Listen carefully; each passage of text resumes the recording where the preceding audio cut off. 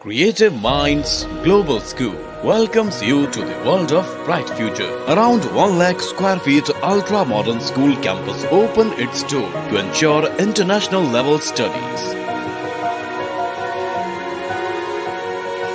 We believe that every child is unique and has immense potential to excel. We encourage our students to think independently and nurture their dreams. Ah, I am energetic.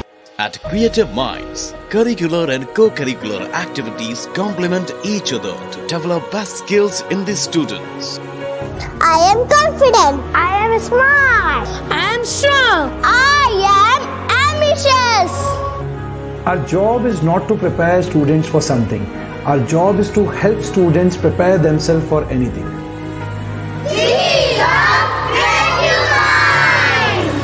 Opposite Gopi Ki Thani off Neemach Manasa Road behind Maheshwari Warehouse, Neemach. For any inquiries, please call on 87703 49336. हम लोग start कर रहे हैं हमारी seventh class का अब next chapter हम लोग अभी तक पढ़ चुके हैं फ़िज़िकल एंड केमिकल चेंज तक अब नेक्स्ट अपन पढ़ेंगे वेदर के बारे में वेदर क्लाइमेट और किस प्रकार से डिफरेंट ऑर्गेनिजम्स अपने आप को एडेप्ट करते हैं अपने आप को ढालते हैं उस एनवायरमेंट के अकॉर्डिंग अपन सबसे पहले पढ़ेंगे इसमें वेदर के बारे में. देखते हैं वेदर के बारे में क्या है इसमें? देखो weather has a profound effect on our life एक बात समझे, क्या होता है कि आज आपको कहीं पर भी जाना है या आपको कोई भी काम करना है, आपकी सारी एक्टिविटी किस पर डिपेंड करेगी? आज के वेदर पर. अगर आज का वेदर अच्छा है तो हमारी एक्टिविटी भी बढ़ जाएगी अच्छे काम करने की. अगर वेदर मतलब बहुत गर्मी पड़ रही है, बहुत ठंड पड़ रही है तो आप ढंग से काम भी नहीं कर पाएँगे। मतलब एक नॉर्मल टेम्परेचर पे नॉर्मल इन्वायरमेंट में आप काम कर पाते हैं। या एक बात समझो, अगर बहुत बारिश हो रही है, अभी आपके शहर में, आपके जहाँ पर आप रह रहे तो क्या आप काम कर पाएँगे पूरी अपनी प्रोडक्टिविटी से? आपके काम करने की एफिशिएंसी कम हो जाएगी ना? तो वेदर का आपकी बॉडी पर बहुत बड़ा इफ़ेक्ट पड़ता है। वेदर के अकॉर्डिंग ही हम लोग हमारे काम कर पाते हैं। ठीक है? अब देखो क्या है। Many of our daily activities are plan based on the weather predicted for the day हमारी डे टू डे की एक्टिविटीज़ किस पर डिपेंड करती है? कि आज का वेदर कैसा है? वेदर अच्छा है तो काम सारे होंगे। और वेदर अच्छा नहीं है तो वेदर के अकॉर्डिंग काम कम हो जाते हैं। समझ पा रहे हैं? फिर are daily reports of the weather on the television and radio and in the newspapers आपको डे टू डे की वेदर की जो रिपोर्ट है, वो डेली आपको देखने को मिलती है। कहाँ पर? चाहे आप रेडियो पे सुन लें, चाहे आप टेलीविज़न में सुन लें, या फिर आप न्यूज़पेपर को रीड कर लें। वहाँ पर आपको हमेशा आपके वेदर की रिपोर्ट देखने को मिलेगी। वो क्यों बताते हैं? ताकि उसके अकॉर्डिंग आप आपके डे को प्लान कर सके। कि आपका आज का दिन में काम कैसे होने वाले? समझ पा रहे हैं कि इंपॉर्टेंस क्या है वेदर की आपकी लाइफ में? ठीक है, फिर the day to day condition of the atmosphere at a place with respect to the temperature humidity rainfall wind speed etcetera is called the weather at that place day to day conditions को weather कहते हैं। जैसे एक example लें आप सभी। अगर अभी जैसे मानो गर्मी का मौसम चल रहा है तो ये आपका वेदर नहीं है। आज गर्मी पड़ रही है, ये आपका वेदर है। जैसे, अगर मान लो, अभी की कंडीशन में यहाँ पर किसी भी रीजन से बारिश होना चालू हो जाए, ठीक है? यहाँ पर बारिश होना चालू हो जाए तो आज बारिश हो रही है तो बहुत स्पीड तेज हो गई विंड की रेनफॉल हो रही है टेम्परेचर कम हो गया, ये कहलाता है आपका वेदर लेकिन आप इसको नहीं कह सकते वेदर की अब गर्मी का सीज़न चल रहा है। ये आपका वेदर नहीं कहलाता है। ये कहलाता है आपका क्लाइमेट समझ पा रहे? डिफरेंस क्या है? देखो, वही दे रखा है। The day to day condition day to day की कंडीशन क्या है? उसको वेदर का नाम दिया गया। ठीक है? फिर इसमें क्या क्या आता है? किन किन चीज़ों से आप वेदर का पता लगाते हैं? टेम्परेचर ह्यूमिडिटी कितनी नमी है आपके एटमॉस्फेयर के अंदर? समझ पर कितनी उमस है एक तरह से। फिर रेनफॉल विंड स्पीड ये सब आपके वेदर के एक तरह से एलिमेंट है। कि आपका वेदर इन चीज़ों पर डिपेंड करता है। आपका वेदर इन चीज़ों के अकॉर्डिंग रहता है। आप इन चीज़ों से अपने वेदर को पता लगा सकते हैं। समझ पा रहे क्या? है फिर नेक्स्ट देखेंगे। नेक्स्ट वेदर प्रिडिक्शन एक बात आप सभी लोग सुनना। जब कभी भी आपको वेदर की न्यूज़ आती है आप टेलीविज़न में देखो, चाहे न्यूज़पेपर में देखो रेडियो में, आपको हमेशा क्या कहा जाएगा? आज ऐसा वेदर होने की संभावना है। आज ऐसा वेदर हो सकता है। कभी कोई आपको फिक्स नहीं कि आज बारिश होगी ही होगी। आज बारिश होने की संभावना है। क्या मतलब? आपको प्रिडिक्ट कर रहे हो। उनके तुक्के में अंदाज़ा लगा के बता रहे क्या ऐसा हो सकता है। गारंटी नहीं होगा ही ऐसा। तो क्या लगता है प्रिडिक्शन प्रिडिक्ट करना, अंदाज़ा लगाना। तो हम वही पढ़ रहे टॉपिक वेदर प्रिडिक्शन कि कैसे पता लगता है कि आज वेदर ये होने वाला है? ठीक है, समझ पा रहे टॉपिक क्या है?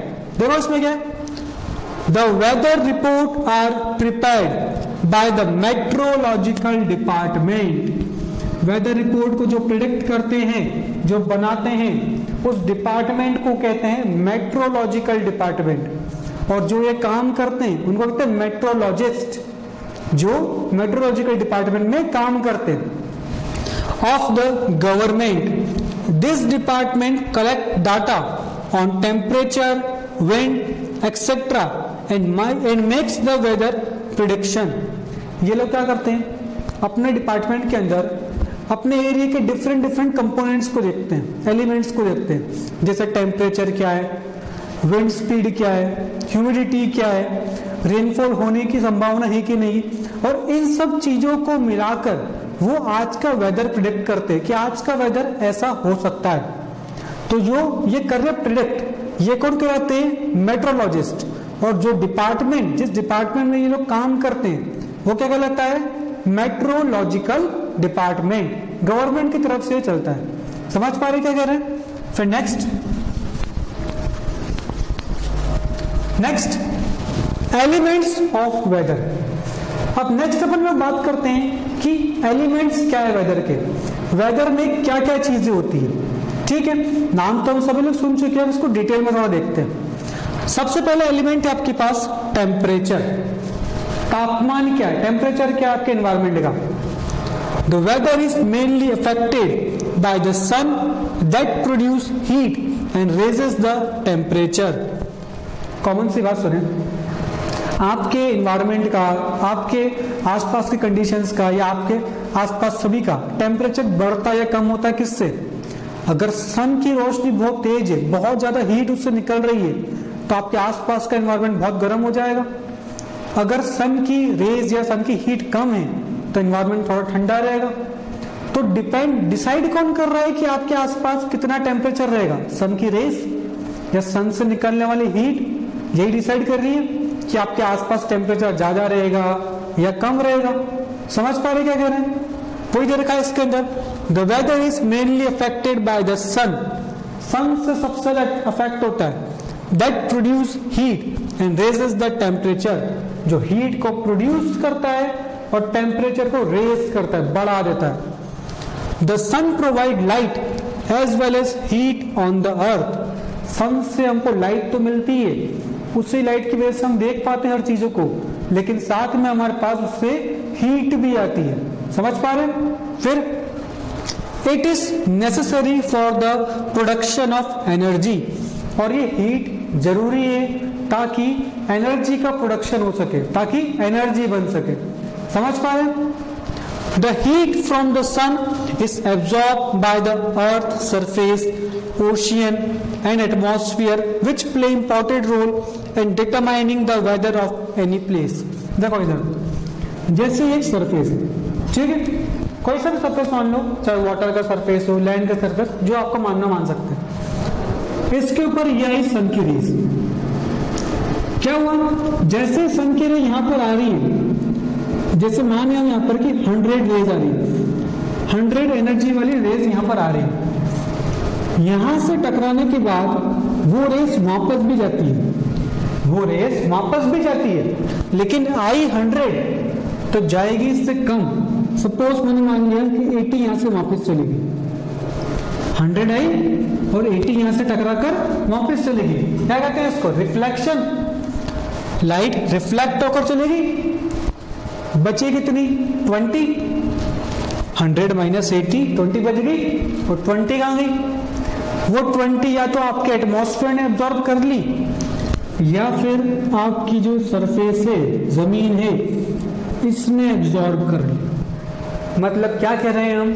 सन से जो भी रेज आती है, वो रिफ्लेक्ट होती है, लेकिन उसका कुछ अमाउंट हमारे अर्थ की सरफेस एब्जॉर्ब कर लेती है।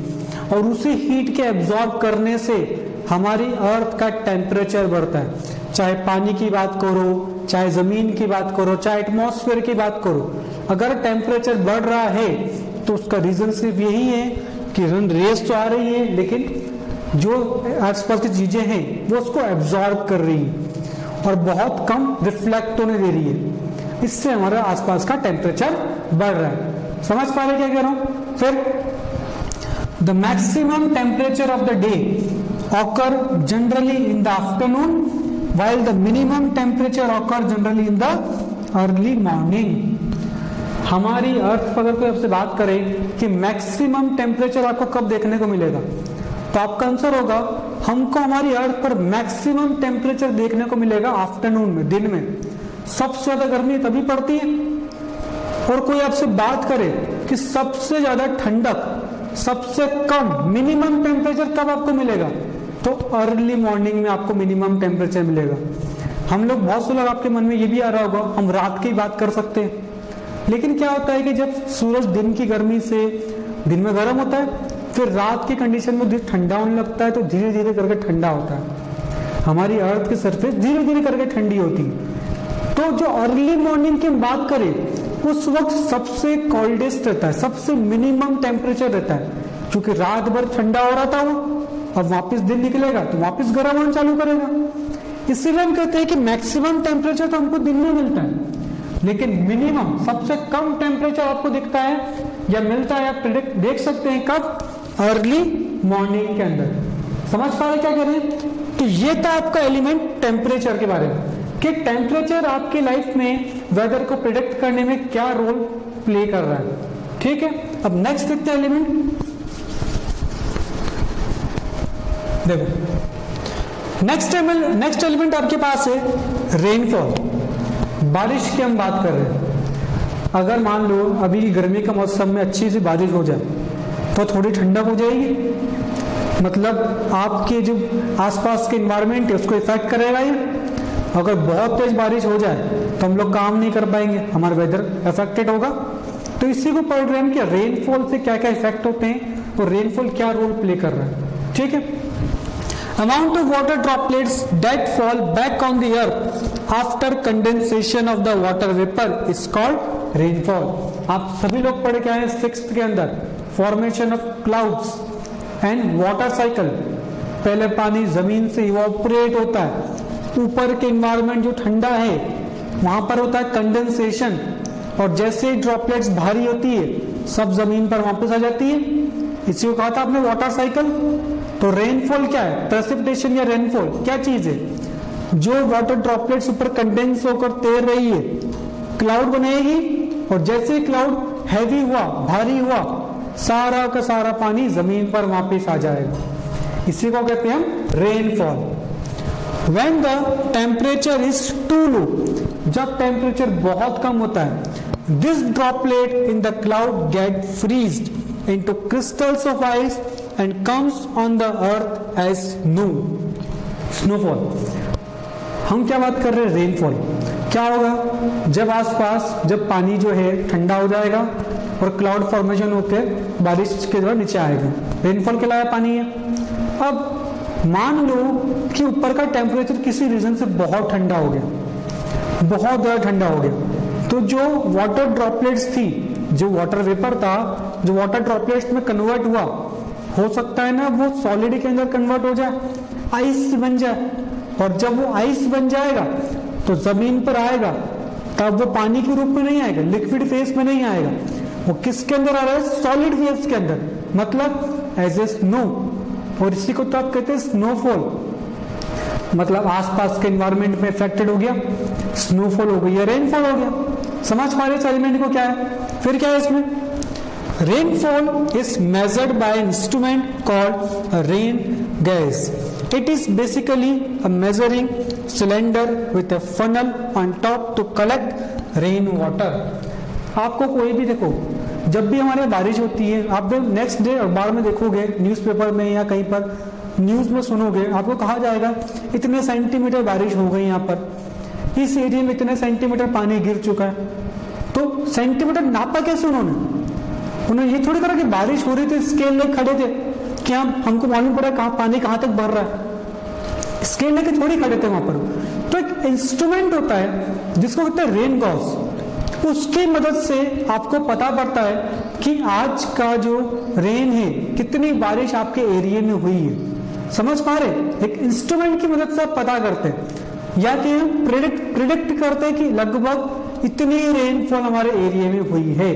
और ये हम सेंटीमीटर से बेसिकली नापते हैं। देखते हैं इसमें नेक्स्ट देखो। ये डायग्राम को ध्यान से देखो। दिख रहा है एक फनल शेप स्ट्रक्चर ठीक है? इसको लगा लिया आपने ओपन ग्राउंड में। कहा लगा दिया आपने? ओपन ग्राउंड में, खुले मैदान में। जैसे ही बारिश गिरेगी, पानी इसके अंदर भी जाएगा। तो जितना पानी, जैसे मान लो कि पानी यहाँ तक भर गया। पानी ये यहाँ तक भर गया इसके अंदर। तो आप क्या कहेंगे इसके अंदर? इसके अंदर 20 तक का पानी आ गया। और ये स्केल अगर सेंटीमीटर में तो आप क्या कहेंगे? अभी के टाइम में, कल की बात करो उसे कि मान लो कल बारिश गिरी, और उसमें पानी 20 तक पहुँच गया। क्या कहोगे? कि 20 सेंटीमीटर रेनफॉल होगी। समझ पा रहे? अगर कम गिरा तो 10 सेंटीमीटर और कम 5 सेंटीमीटर तो इससे पता लगा सकते हो, ये इंस्ट्रूमेंट से कि कितना बारिश हो रही है। इस इंस्ट्रूमेंट को कहते हैं अपन रेन गेज समझ पा रहे हो आप क्या करें? इंस्ट्रूमेंट में जितना पानी भराएगा, उस पानी के ऊपर आप प्रिडिक्ट करते हैं कि कितनी रेनफॉल आपके एरिया में हो रही है। फिर नेक्स्ट देखेंगे। नेक्स्ट एलिमेंट आपके पास है ह्यूमिडिटी क्या मतलब होता है ह्यूमिडिटी का? समझते सभी लोग एक शब्द को? उमस कहते हैं उसको अपन। क्या मतलब होता है? आप जब भी इन्वायरमेंट में बैठे हो, कहीं पर भी बैठे हो, आपको ऐसा लग रहा है कि आसपास आपके बहुत पानी है। जैसे हम यहाँ पे खड़े हैं, हमको ऐसा लगेगा पूरे टाइम के आसपास बहुत पानी है। हम कितना भी अपने पसीने सुखाने की कोशिश करें, हमारी बॉडी गीली ही रहती है। क्या मतलब उसका? जैसे ये है आपका सरफेस ठीक है? थोड़े से ठंडक होने की वजह से यहाँ पर जो थोड़े से वाटर ड्रॉपलेट्स कुछ जो लिक्विड के ड्रॉपलेट्स थे, वो अभी एटमॉस्फेयर के अंदर आ गए। ये आ गए एटमॉस्फेयर के अंदर। लेकिन इतना ही नहीं हुआ, इतनी एनर्जी उनके अंदर नहीं आई अभी भी कि यहाँ से वो ऊपर उड़ सके। वो सिर्फ़ इस नीचे के एटमॉस्फेयर नीचे के एरिया में अभी तक है। तो आप आप भी यहीं पर बैठे। जैसे मान लो ए नाम से आप भी अगर यहीं पर है? समझ पा रहे तो आप यहाँ पर हैं और ये पानी के ड्रॉपलेट्स भी यहाँ पर हैं। तो आपको पूरे टाइम ये क्या फील करवाएँगे? कि आपके आसपास बहुत सारा पानी है। आपको पसीना बहुत आ रहा है। वो आपका पसीना नहीं होगा बोलेंगे पानी होगा आसपास का। लेकिन लगेगा तो यही कि हम कुछ भी कर रहे हैं, लेकिन हम सूख ही नहीं पा रहे। मतलब बॉडी गीली गीली से फील हो रही है पूरे टाइम। इसी को तो कहते हैं उमस और इसी को इंग्लिश में कहते हैं ह्यूमिडिटी कितना पानी प्रेजेंट है आपके एटमॉस्फेयर के अंदर? समझ पा रहे डिफाइन देखो. Humidity is a measure of moisture in air moisture की बात करें, नमी कितनी है आपके एटमॉस्फेयर में, आपकी एयर में? ये कहलाता है आपका ह्यूमिडिटी या फिर उमस. फिर नेक्स्ट क्या है? Wind speed it is cause due to difference in air pressure. जब भी एयर प्रेशर का डिफरेंस होता है, बहुत सारी विंड वहाँ से फ्लो होती है। कहाँ पर? Higher pressure to lower pressure जैसे सपोज़ ये एक एरिया है और ये दूसरा एरिया यहाँ पर हाई प्रेशर बन गया एयर का और यहाँ पर है लो प्रेशर तो एयर हमेशा हाई प्रेशर से लो प्रेशर की साइड में मूव करेगी। हम नेक्स्ट चैप्टर में पूरा डिटेल में पढ़ेंगे। उसमें सिर्फ़ यही पढ़ना है कि एयर प्रेशर कैसे आपकी डे टू डे लाइफ में रोल प्ले कर रहा है। तो अभी यहाँ पर सिर्फ़ इतना याद रखेंगे कि एयर हाई प्रेशर से लो प्रेशर की साइड मूव करती है और ये डिफरेंस जो है हाई और लो के बीच में, इसी की वजह से हवा चलती है या विंड स्पीड आती है। अगर प्रेशर ज़्यादा हुआ, हवा की स्पीड बहुत तेज हो जाएगी। अगर प्रेशर कम हुआ, हवा धीरे धीरे चलेगी। तो समझ पा रहे क्या? है यहाँ तक आप इसके अंदर नोट करेंगे ठीक है? नोट करो यहाँ तक इसको।